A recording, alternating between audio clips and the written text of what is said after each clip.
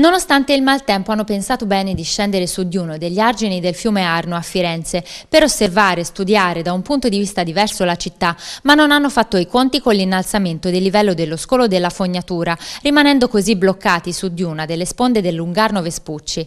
Protagonisti di questa brutta avventura un gruppo di studiosi e professori italiani e stranieri in città per partecipare ad un convegno di architettura insieme ad altre persone.